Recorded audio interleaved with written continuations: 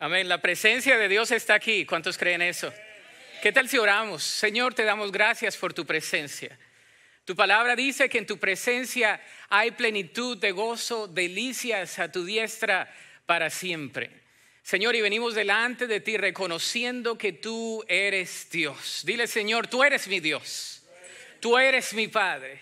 Espíritu Santo, te pido en esta hora que tú seas hablando a mi mente y a mi corazón. Espíritu Santo de Dios, te damos gracias por tu presencia en medio nuestro. Señor, depositamos todas nuestras ansiedades.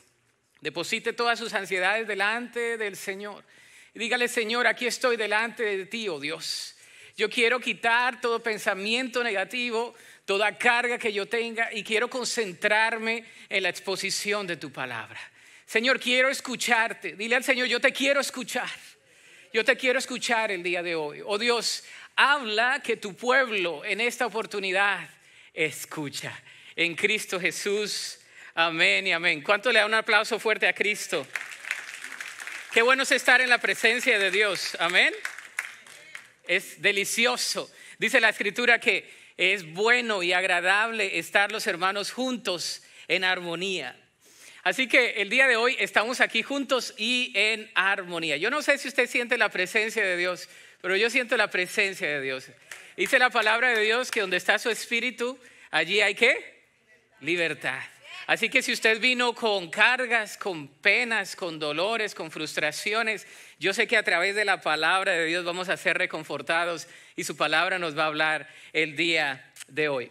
Voy a comenzar diciendo esto. Es notable ver la diferencia entre una persona confiada y una persona que desconfía de todo. ¿Lo han notado? Una persona desconfiada lo cuestiona todo, lo mira todo, sospecha de todos y suele preocuparse de más por cosas que nunca llegan a pasar. ¿Vive con uno de ellos o es usted uno de ellos? No alce la mano, testimonios para luego. Las personas desconfiadas tienen problemas con mantener el gozo en sus vidas porque parece ser que eh, en el transcurso del día hay muchas cosas que laceran su gozo, con las cargas, con las dudas, con las frustraciones innecesarias, roban el gozo. Lo mismo pasa con las personas que son muy seguras. Y con ellas, las personas que son inseguras a veces tienen muchos problemas. Una persona segura de sí misma es segura hasta para cometer sus errores, ¿no? Dice una mentira y es convincente. ¿Vive usted con uno de ellos o es usted uno de ellos? No levante la mano. Pero una persona segura, eso le come el cuento todo el mundo, aunque sea mentira. Como dicen en México, es todo un rollero, ¿verdad? Y la gente le come el cuento, dicen en mi país. Esa es la diferencia entre una persona segura y una persona insegura. Pero la palabra de Dios nos habla de tener nuestra confianza no en algo, no en alguien, sino en la palabra de Dios. Y si va a ser en alguien, va a ser en Cristo Jesús. El día de hoy vamos a hablar de esta eh, palabra acerca de en qué o en quién depositas tu confianza. En las circunstancias, en las personas, en las cosas o en las posesiones no lo podemos tener. El día de hoy vamos a hablar de eso y recordemos que estamos caminando en la epístola de los filipenses y en la epístola del gozo escrita por el apóstol Pablo desde la prisión en su casa en Roma. Y estamos hablando de que Filipenses se puede resumir el capítulo 1 en la mente sencilla. Allá eh, dice la escritura, para mí el morir es Cristo y el vivir es ganancia. Eh, lo que Dios ha hecho en mi vida lo va a perfeccionar hasta el día de Cristo. El segundo capítulo habla de la mente sumisa y dice, haya pues en vosotros también el mismo sentir que hubo en Cristo Jesús, el cual siendo en forma de Dios no escatimó el, el ser igual a Dios como cosa a que aferrarse, sino que se humilló a sí mismo. El tercer capítulo que vamos a comenzar el día de hoy es la mente espiritual. Es decir, es esa batalla que tenemos todos entre la mente espiritual y la mente carnal con la que vivimos todos los días. Y el capítulo 4 habla de la mente segura, de las promesas de Dios y la seguridad que tenemos en Cristo. Estos cuatro capítulos combaten cuatro ladrones. El primer ladrón es las circunstancias que nos quieren quitar el gozo. Las circunstancias nos quieren robar el gozo. Los segundos son la gente. La gente tiende a robarnos el gozo. ¿Y cuántos dicen amén? Sea sincero. Ay, que Dios mío, yo sé que sí.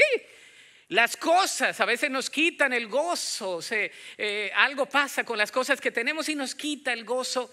Y la peor de todas es la preocupación. La preocupación es la peor de todas aquellas características que nos roban, de los ladrones o ladronas que nos roban el gozo. Entonces el día de hoy vamos a ver en quién depositamos nuestra confianza. Somos nuevos en Cristo, tenemos una nueva naturaleza en Cristo y ahora tenemos una nueva confianza. Y vamos a ver el capítulo 3. ¿Están listos? Si no está listo, dígale a la persona, voy a orar por ti. Está. Bueno, ahí está la pantalla, está ahí Filipenses capítulo 3 del 1 al 11. Está preciosa esta palabra. Dice, mis amados hermanos y hermanas, pase lo que pase, alégrense en quién? En el Señor. Nunca me canso de decirles estas cosas y lo hago para proteger su fe. Cuídense de esos perros, de esa gente que hace lo malo, esos mutiladores que les dicen que deben circuncidarse para ser salvos. Pues los que adoramos por medio del Espíritu de Dios somos los verdaderos circuncisos. Confiamos en lo que Cristo Jesús hizo por nosotros. No depositemos ninguna confianza en esfuerzos humanos. Versículo 4 dice, aunque si alguien pudiera confiar en sus propios esfuerzos, esfuerzos, ese sería quién? Yo, dice el apóstol Pablo. De hecho, versículo 5, fui circuncidado cuando tenía ocho días de vida, soy un ciudadano de Israel de pura cepa y miembro de la tribu de Benjamín, un verdadero hebreo como lo no ha habido ningún otro. Fui miembro de los fariseos, quienes exigen la obediencia más estricta a la ley judía. Era tan fanático que perseguía con crueldad a la iglesia y en cuanto a la justicia, obedecía la ley al pie de la letra. Antes creía que esas cosas eran valiosas, pero ahora considero que no tienen ningún valor debido a lo que Cristo ha hecho. Así es, todo lo demás no vale nada cuando se compara con el infinito valor de conocer a Cristo Jesús, mi Señor. Por amor a Él he desechado todo lo demás y lo considero basura a fin de ganar a Cristo y llegar a ser uno con Él. Ya no me apoyo en mi propia justicia por medio de la fe en Cristo Jesús, pues la forma que Dios nos hace justos delante de Él se basa en qué? En la fe. Diga conmigo, en la fe. Quiero conocer a Cristo y experimentar el gran poder que lo levantó de los muertos. Quiero sufrir con Él y participar de su muerte para poder experimentar de una u otra manera la resurrección de los muertos. Que Dios bendiga su palabra. Amén. Como ya mencionamos, las circunstancias y la gente nos pueden robar el gozo, pero también lo hacen las cosas. Y ese es el ladrón con el cual trata el capítulo 3 de Filipenses. Los versículos del 1 al 11 nos muestran el pasado de Pablo. Y el pasado a veces nos quiere afectar. ¿Cuántos batallan con su pasado? No levante la mano, levante la interna. Todos batallamos con el pasado. Y la otra semana vamos a hablar de eso. Entonces el apóstol dice, eh, soy un evaluador, evalúo mi vida pasada y concluye con valores nuevos que ahora debe tener como parte de la familia de la fe. Y del versículo 12 al 16, la próxima semana, habla del presente y dice, yo prosigo a la meta. Y los versículos 17 al 21 nos hablan del futuro de Pablo, quien se presenta como extranjero y dice, espero, espero, espero. Nuestra confianza está en quién? En Cristo Jesús. Lo que Pablo describe es la mente espiritual. Hace un contraste, entre la mente natural y la mente espiritual, cuya mirada está en las cosas de arriba y no en las de la tierra, dice la palabra de Dios. La palabra clave en Filipenses 3, del 1 al 11, es estimó. Él mira hacia atrás y hace un recuento de su vida, de todos sus logros, y comienza a estimar, a valorar y a ponerlo en la pesa ¿Cuántos de ustedes conocen una pesa? ¿No? En nuestros países hay muchas pesas, algunas alteradas, ¿no? Que es una libra y es media libra, se la cobran como una. Pero dice la escritura que eh, debemos estimar lo, que hemos hecho a, raíz de lo que hemos hecho y enfrentarnos con la nueva realidad que tenemos en Cristo. Me llama la atención una de las frases de Sócrates, porque hay algo que se puede sacar bueno de la filosofía, que dijo lo siguiente, dice, la vida no examinada no es digna de vivirse. Si usted y yo no examinamos nuestra vida, entonces no podemos progresar en lo que Dios tiene para nosotros. Amén. Miramos hacia atrás no para lamentarnos, sino para examinar y para seguir prosiguiendo a lo que Dios tiene para nosotros. En el caso de Pablo, las cosas por las cuales vivía, vivía antes de conocer a Cristo parecían nobles. Una vida recta, una obediencia a la ley y la defensa de la religión de sus padres eran sus mejores cartas de presentación. Es más, Pablo se presenta como aquel piadoso al cual la misma religión lo apartó del Dios verdadero. Y entonces no fueron las malas cosas las que mantuvieron a Pablo apartado de Cristo, sino las cosas buenas. Él tuvo que perder su religión para encontrar la salvación. Pablo tuvo que perder su religión para encontrar la salvación redentora a través de Cristo Jesús. Y es lo que la palabra de Dios dice. Un día Saulo de Tarso, quien perseguía a Jesús, lo conoció. En Hechos capítulo 9 usted puede ver ese recuento. Pablo explica en esta sección en Filipenses dos clases de justicia o de riqueza espiritual. La justicia por las obras y la justicia por la fe. Diga conmigo, la justicia por las obras y la justicia por la fe. Es lo que Pablo dice. Entonces, la pregunta que nos lleva a colación el día de hoy es, ¿en qué está cimentada tu confianza? Lo primero es el cimiento del gozo. Versículo 1 dice, mis amados hermanos, pase lo que pase, alégrense en el Señor. Nunca me canso de decirles estas cosas y lo hago para proteger su fe. Me fascina la frase, pase lo que pase, alégrense en el Señor.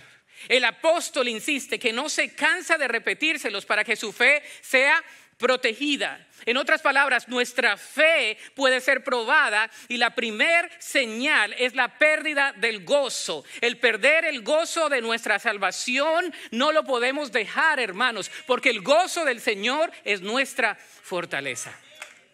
Y eso no tiene nada que ver con que yo me sienta mal, porque todos nos sentimos mal. Eso no tiene nada que ver con que yo me sienta desanimado, porque todos nos sentimos desanimados. ¿Usted no? Y si no, entonces ore por mí también, porque a veces nos desanimamos.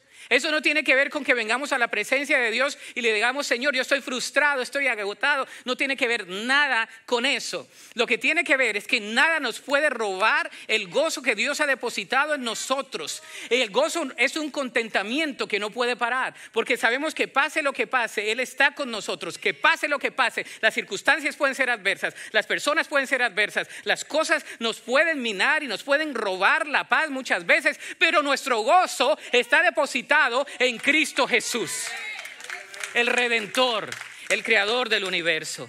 Es fácil para nosotros enredarnos en cosas, no solo las cosas tangibles, sino también las intangibles, como la reputación, la fama, los logros y todo eso. Es lo que habla el apóstol aquí. Lo menciona el apóstol que todas las cosas las estimó como ganancia antes, pero ahora eran una pérdida delante de Dios. Hay cosas intangibles que todos tenemos, como nuestros logros del pasado, ¿no? Es que usted no sabe, pastor, yo en 1985 era Juan Juan, mero, mero, papas fritas. Todo el mundo me conocía. Usted no sabe mi educación, usted no sabe de dónde vengo. Y el apóstol entonces, para explicar la justicia en base a las obras, versus la justicia en la fe, hace un recuento de su vida, una evaluación de su vida.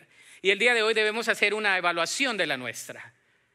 Y el día de hoy yo le pido que usted y yo hagamos una evaluación y estimemos nuestra vida, evaluemos nuestra vida para que Dios nos permita recibir el mensaje para cada uno de nosotros el día de hoy.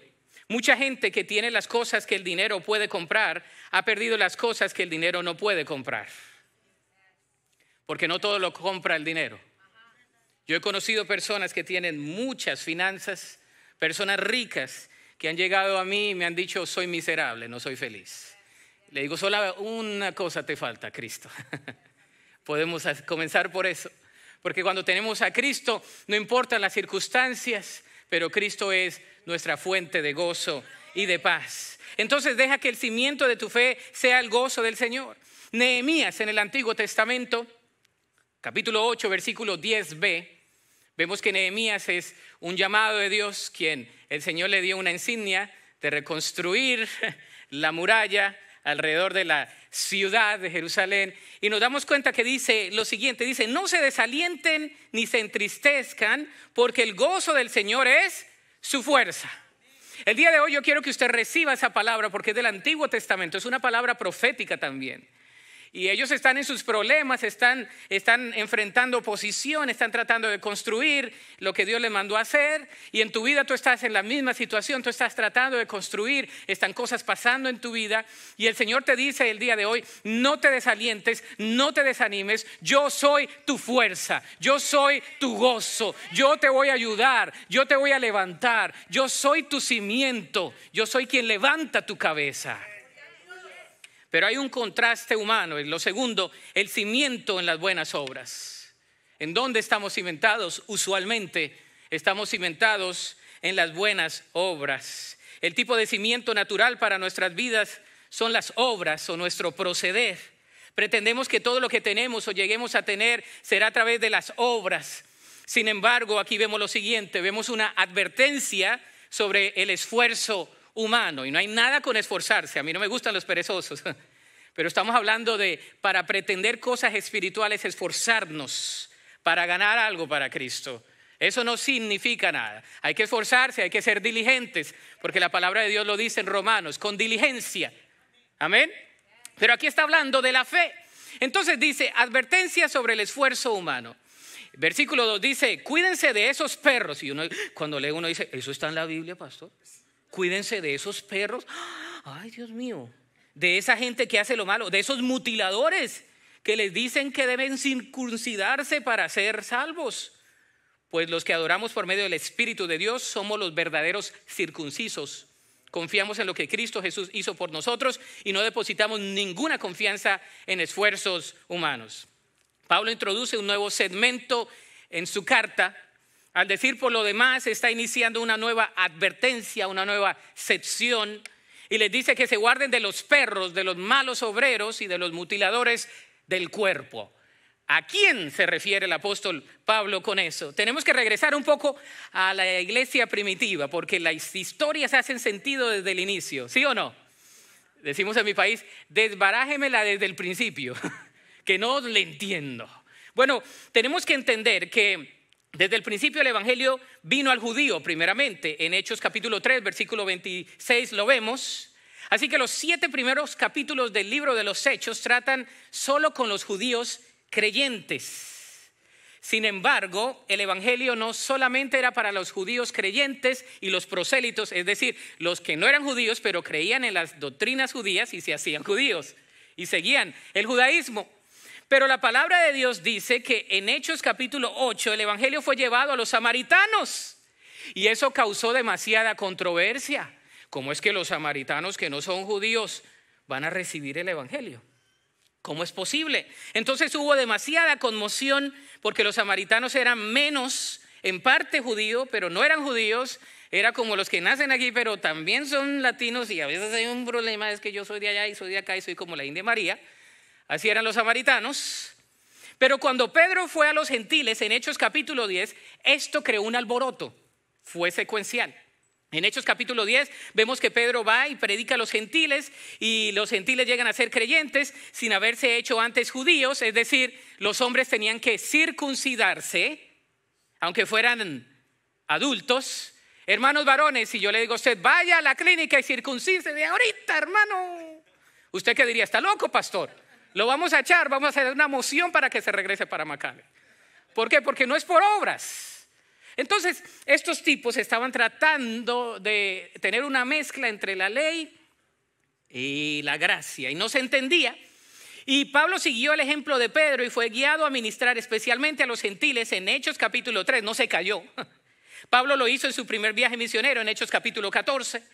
Y sin embargo los judíos piadosos y creyentes no tardaron mucho en oponerse al ministerio de Pablo y fueron a Antioquía enseñando que era necesario que los gentiles se sometieran a las reglas judías antes de ser salvos. Hechos capítulo 15 dice, vamos a hacer un concilio.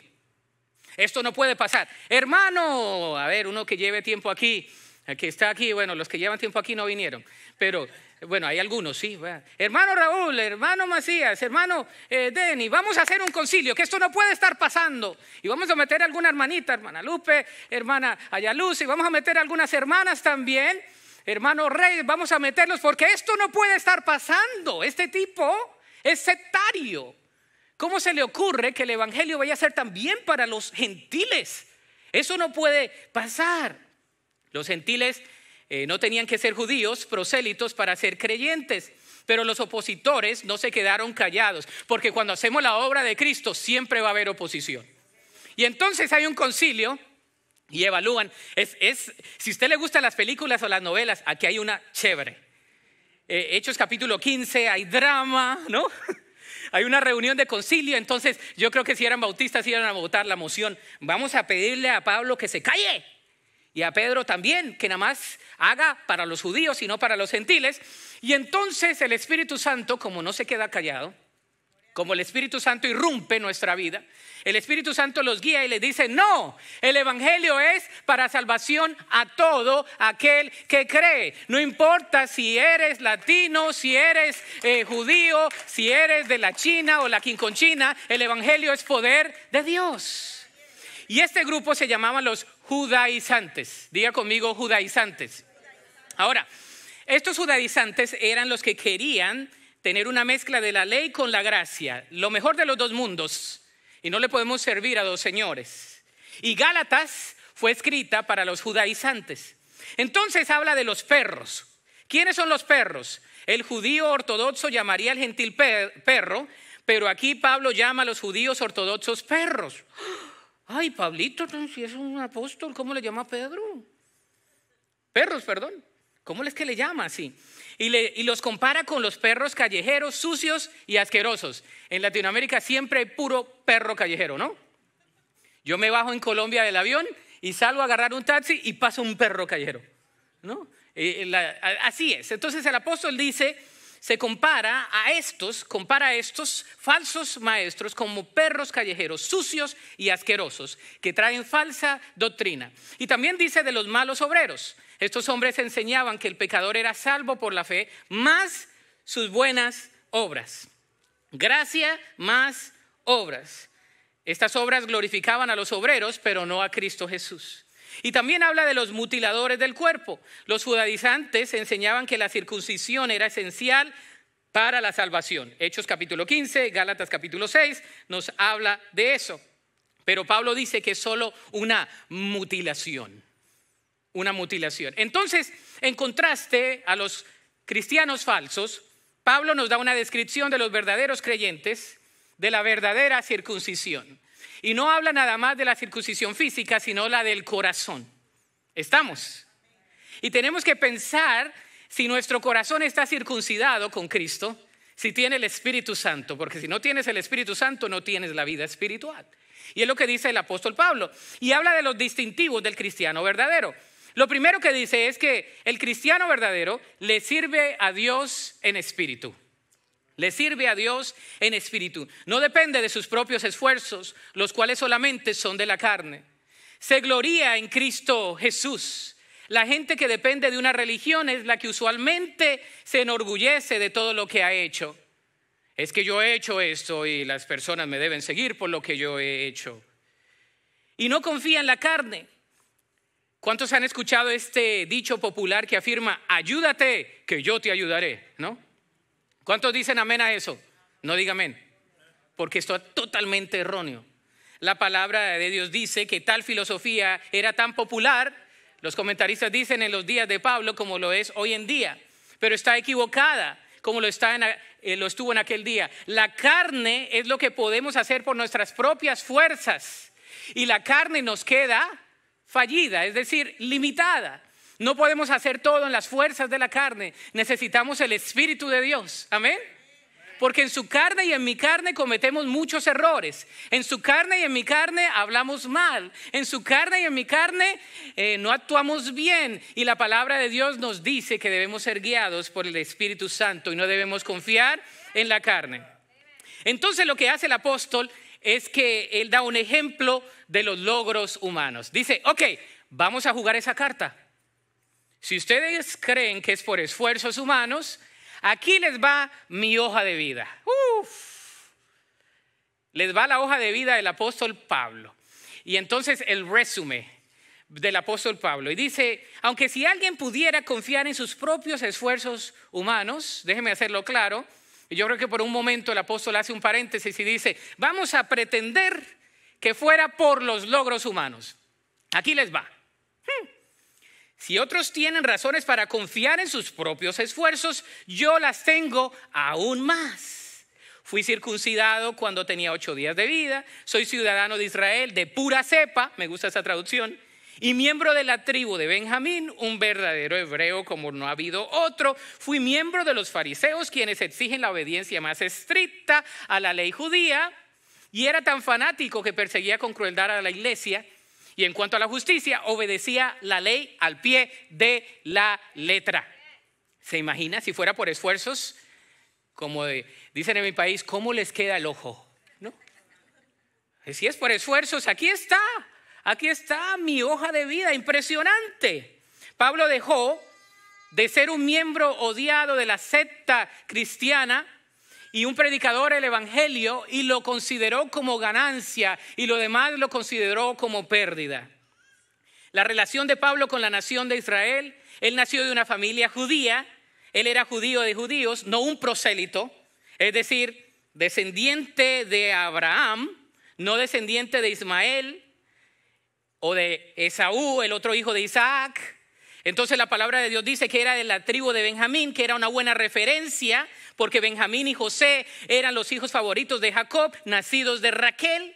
El primer rey de Israel vino de la tribu de Benjamín, así que qué mejor herencia humana para Pablo que ser el pariente del primer rey de la nación de Israel. ¿Sabía usted eso? Si no lo sabía, ahí está. Pariente de... Ah, si no sabían, mi pariente fue el primer rey de Israel. Segundo, le dice la relación de Pablo con la ley, es decir, con, las, con el Torah, con la escritura.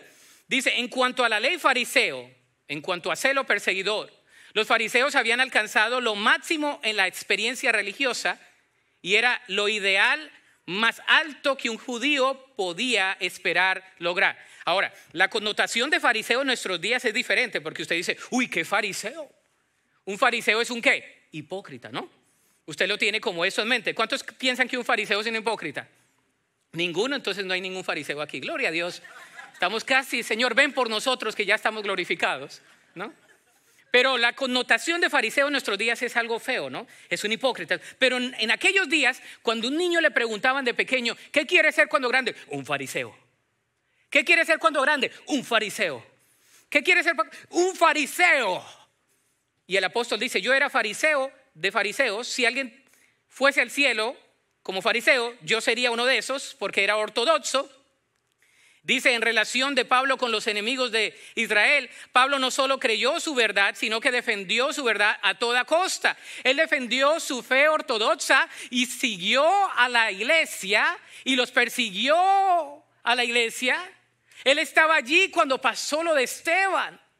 El apóstol Pablo no solamente su celo lo llevó a ser un piadoso, sino también a experimentar los horrores de una religiosidad que no lo llevaba a una relación con Cristo. Y él dice, no solamente de la tribu de Benjamín, no solamente me senté en los pies de Gamaliel, que en hecho nos dice que era uno de los mejores rabís, sino que yo en estos momentos también me convertí en un celoso perseguidor del movimiento sectario de seguidores de Jesús. Y si fuera por todo eso, yo iría al cielo, pero no es así. Ahora, si tú y yo pensamos que por lo que hayamos hecho, o de donde seamos, o de todos los logros que tengamos, vamos a ir al cielo, estamos mal. La palabra de Dios dice que es por gracia, por la fe, por medio de Cristo Jesús. Y no importa tu pasado, no importa lo que hayas hecho, no importa si hayas sido un criminal, un adicto, si hayas venido de la mejor familia, de la mejor curnia, no importa que hayas tenido la mejor preparación en un colegio privado, que hayas sido la mejor universidad, que hayas tenido todos los logros, no importa todo eso, para ir al cielo venimos a Cristo con corazones humillados, redimidos por la gracia de Dios y no le podemos añadir a la gracia de Dios. Dios se preocupó por mí y por ti. Y es por su gracia, es por la fe. Eso es algo precioso. Entonces nos habla del cimiento de la fe. Esto se pone bueno. Dígale al hermano que está al lado, esto se pone bueno. Al rato comes, no te preocupes. Y entonces nos habla de las pérdidas de Pablo. Dice, antes creía que estas cosas eran valiosas, versículo 7, pero ahora considero que no tienen ningún valor debido a lo que Cristo ha hecho. Si ustedes creen que este es mi resumen, ahí está. Me, gustan las reuniones de pastores, a veces son interesantes, yo no soy prototipo que encaja mucho en ellas, pero un día estaba en una reunión de pastores en Carolina del Norte y estamos eh, en una fila y, hay uno de esos pastores que siempre le gusta eh, denotar de dónde viene y cuántos tiene y todo eso. Entonces, eh, él pensaba, yo no sé, que yo era un pastor de jóvenes o lo que sea, eh, tengo cara de todo menos de pastor, ¿sabe? Y, y, entonces estaba ahí yo en la fila y me decía, y tú debes considerar estudiar en este seminario y, y debes considerar abrir ese tipo de ministerio. Y debes considerar abrir esta, eh, esta oportunidad, eh, después tener un doctorado. Yo estoy cursando, yo estoy a punto de hacer esto y aquello otro. Me sacó todo su resumen sin preguntárselo. Yo estaba nada más esperando el taquito que estaba viendo yo ahí. Estaba tan rico el taquito que yo ni le estaba prestando atención a este tipo. Y él, estaba, si fuera para el cielo en ese momento, ya el Señor lo arrebataba. Llévalo, Señor. Entonces, en una de esas, estaba él, estaba él como entrado, ¿no? En su egocentrismo, porque eh, eh, hay, un, hay un celo ministerial a veces, ¿no? Entre más tengas, entre más tengas en la congregación, entre más hagas, entre esas cosas ya, eso es basura. Y, y entonces él estaba tratando en su ego. Y uno, le, y uno voltea y le dice, ¿tú sabes con quién estás hablando? Y dice, no, no, no, no, ¿quién es este? Ese, eh, él, él, él es el orador de hoy, es el presidente de la Convención Bautista Hispana y él ya tiene doctorado y él también enseña y todo. Yo, yo ni sabía qué era lo que estaba haciendo él. La verdad que me di cuenta por el, otro tipo que estaba hablando. Yo estaba mirando los tacos porque soy carnal y me gusta comer. Hermano, sí. Y yo le dije, sí, yo le decía sí, ¿va? ¿Se acuerda que una vez se dice sí, pero no cuándo? Yo decía, sí, sí, claro, hermano, no, claro, yo voy a estudiar, no se preocupe. Sí, sí, sí. Yo dije, ¿cuándo se va a acabar esta cosa, no? Y él seguía empavonado, empavonado. Yo creo que el otro tipo le dio pena y entonces intervino y dice, no vas a que haga el ridículo más, porque él me quería reclutar, ¿no? Y él tenía el ministerio más grande y toda la cosa. Y el hermano, qué bueno, Dios me lo bendice. Y ya ni me acuerdo de dónde era el hermano, pero el punto es que a veces queremos impresionar con, con eso. Tú no sabes de dónde somos, tú no sabes lo que hacemos. Y yo he hecho esto y he hecho esto otro. Hermanos, es por la gracia de Dios. Si no es por Dios, no podemos hacer nada. Si no es por Cristo, no podemos hacer nada. Todos los días tú y yo tenemos que venir al Señor y decirle, Señor, úsame. Porque no es por los méritos humanos, no es por lo que yo pueda obtener, no es por lo que yo pueda hacer, no es por los logros, aunque sean buenos, es por tu gracia, por tu favor y por tu misericordia. Es por la gracia de Dios. Y se me hace agua a los ojos porque el Evangelio es poder de Dios para salvación a todo aquel que cree. Y si le añadimos a la gracia si le añadimos a la gracia, dañamos el Evangelio. La gracia es poder de Dios. El apóstol Pablo es mi héroe porque dice, así es, todo lo demás no vale nada cuando se compara con el infinito valor de conocer a Cristo Jesús, mi Señor. Por amor a Él, he desechado todo lo demás y lo considero basura, fin de ganar a Cristo y llegar a ser uno con Él. Ya no me apoyo en mi propia justicia, pero por medio de obedecer a la ley, más bien llego a ser justo por la fe, porque el justo por la fe vivirá. Y el Señor que quiere que vivamos por la fe, hermanos. Quiere que vivamos e, en estos días lo que la gente está buscando es autenticidad. La gente está buscando personas que, que, sean celosas por la obra de Cristo, personas que verdaderamente les mueva el Evangelio, personas que les muevan la gente que está perdida, personas que digan, tú no lo tienes todo, yo tampoco lo tengo todo, tú estás quebrado, yo a veces me quiebro también, pero venimos a la cruz de Cristo y a través de la cruz de Cristo, a través de la gracia de Cristo, a través del poder de Cristo, el poder de Dios se perfecciona en la debilidad. Gene Elliot fue un misionero que fue con una tribu en Ecuador, usted lo ha leído, si ha leído misiología. Hay una frase que se usa mucho de él, quiero hacer nota, nota de ella. Dice, no es ningún tonto el que da aquello que no puede guardar para ganar aquello que no puede perder. Lo vuelvo a repetir. No es ningún tonto el que da aquello que no puede guardar para ganar aquello que no puede perder. Él se despidió de sus hijitos chiquitos y de su esposa y lo mató un indio en la selva. De eso significa esta escritura que ganó Pablo y que ganamos nosotros, el conocimiento de Cristo. Versículo 8, el conocer a Cristo significa tener una relación personal con Cristo por medio de la fe. Podemos venir al Rey de Reyes y Señor de Señores en esta mañana. Amén. Y podemos venir así como somos, con nuestras dificultades, con nuestros problemas. ¿Sabes por qué David fue llamado el hombre conforme al corazón de Dios, aunque fue mujeriego, aunque fue asesino, aunque fue de todo lo que usted pueda pensar, David lo fue. Pero él se presentaba delante de Dios con un corazón contrito y humillado. Y es lo que debemos hacer nosotros, conocer a Cristo. El conocer a Cristo significa tener una relación personal con Él por medio de la fe. Esta es una experiencia que Cristo menciona en Juan capítulo 17. La salvación es conocerle de modo personal. Y mi pregunta es, ¿conoces a Cristo? ¿Conoces a Cristo? También el versículo 9 dice la justicia de Cristo. La justicia era la gran meta de la vida de Pablo cuando era fariseo pero esa justicia propia por las obras era la verdad que nunca pudo lograr y nunca estuvo satisfecho por las obras. Si tú crees que por lo que hagas vas a ir al cielo, estás mal. Es por la obra que Cristo ya hizo en la cruz. Amén. No descansas en eso. Que es por la obra de Cristo en la cruz.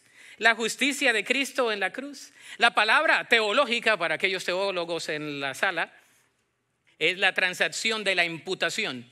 Lo que significa poner a la cuenta de alguien algo que esa persona no tiene. Pablo miraba su vida y descubrió que espiritualmente estaba en bancarrota, pero por la cuenta de Cristo en la cruz, él ahora estaba rico espiritualmente.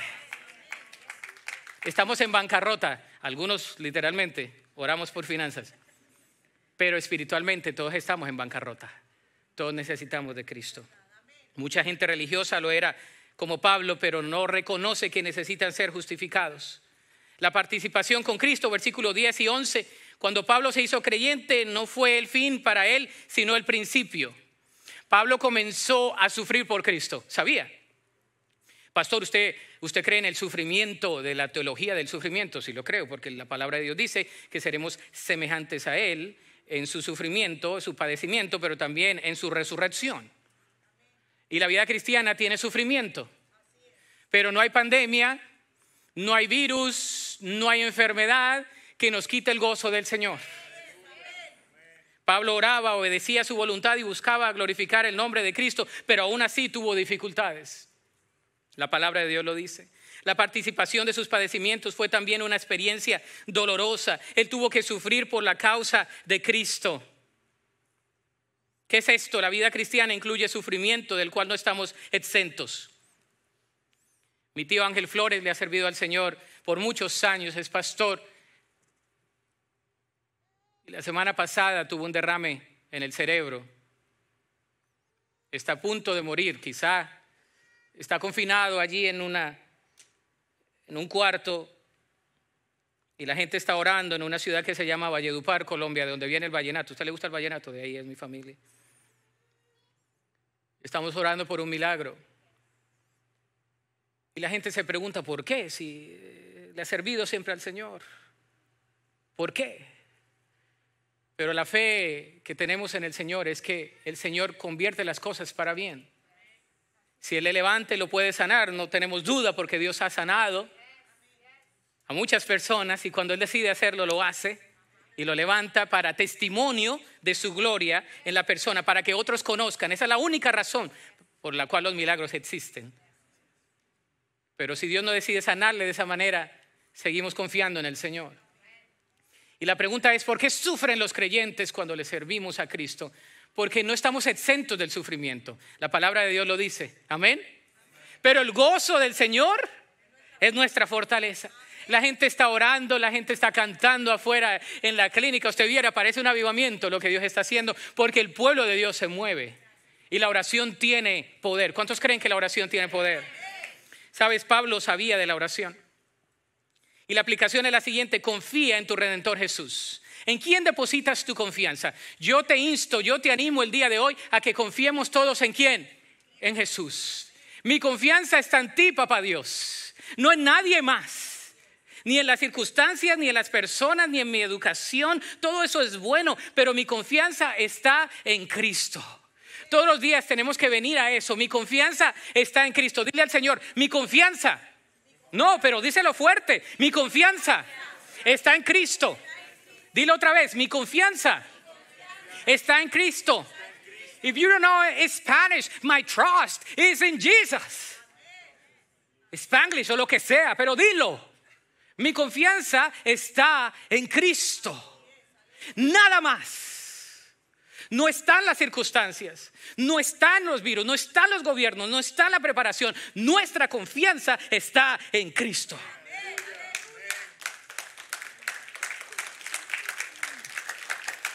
Recordemos que tu padecimiento puede llegar a glorificar a Cristo.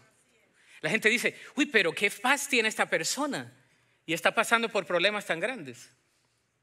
Porque la confianza está en quién? En Cristo. Y tú no entiendes por qué esa persona tiene paz, pero esa persona tiene a Cristo. El poder de Dios se manifiesta en el sufrimiento. Te dejo con uno de mis versículos favoritos, que se encuentra en 2 Corintios 12, 9. Cada vez Él me dijo, mi gracia es todo lo que necesitas, porque mi poder actúa mejor en la debilidad. Oh my. Ahí lo dice otra vez. Cada vez el Señor me dice lo siguiente, mi gracia es todo lo que necesitas porque mi poder actúa mejor en la debilidad. Mi gracia es todo lo que necesitas porque mi poder actúa en tu debilidad. Jesús es la única fuente de la verdadera confianza. El versículo clave de hoy es Filipenses 3:8. Dice, así es todo lo demás, que no vale para nada cuando se compara con el infinito valor de conocer a Cristo Jesús, mi Señor. Por amor a Él he desechado todo lo demás y lo considero basura a fin de ganar a Cristo. Un día, en el mes del pastor, que es octubre, así que no, no acuérdese. Ya viene, ya viene, it's coming, it's coming. It's a hint right there. Una hermana en McAllen me regaló esta cruz. Me gusta, la tengo. Entonces que han ido a mi oficina, la, la tengo al frente, aquí de este lado. Porque todos los días que yo llego, tengo que saber que Cristo fue crucificado por mí, no se quedó en la cruz, ¿verdad? Él resucitó, así que no creemos en crucifijos, creemos en un Cristo que resucitó. Pero para mí como creyente, significa que Cristo llevó todo en la cruz. Y todos los días tengo que, como dice Gálatas 2.20, crucificado estoy juntamente con Cristo y ya no vivo yo, mas Cristo vive en mí y lo que ahora vivo en la carne lo vivo en la fe del Hijo de Dios, el cual me amó y se entregó a sí mismo por mí.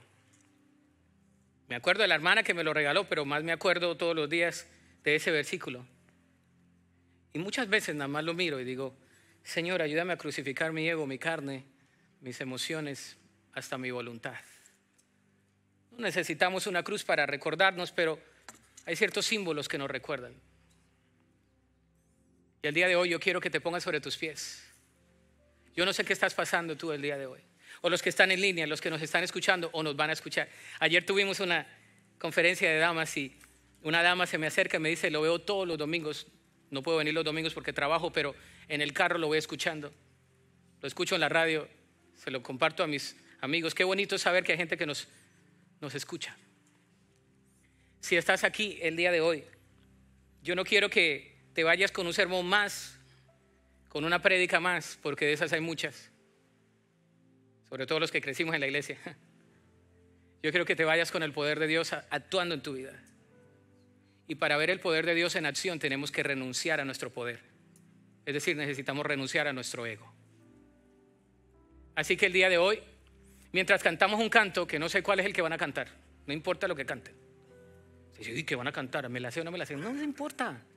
Usted venga al Señor. Venga Cristo, así como está. No tienes que ser alguien más. No tienes que pensar en algo más. Ven así como estás a Jesús. Ese himno dice, yo me rindo a Él, ya lo van a cantar, ¿no? ¿Qué tal si venimos a Jesús? El altar está abierto, pero el altar más poderoso es el del corazón, pero el altar está abierto. Ven a Cristo, dile, Señor, yo me rindo a ti. Aquí estoy delante de ti, así como estás. Ven a Jesús. Dile, yo me rindo ante ti. Yo me rindo a ti, Señor. Ven a Cristo. Ven delante de Él. Su presencia está aquí. Él está aquí para sanar, para restaurar. Ven a Cristo. Dile, yo me rindo. Díselo de todo tu corazón. Señor, aquí estoy delante de ti. Yo me rindo delante de tu trono. Yo me rindo, Señor.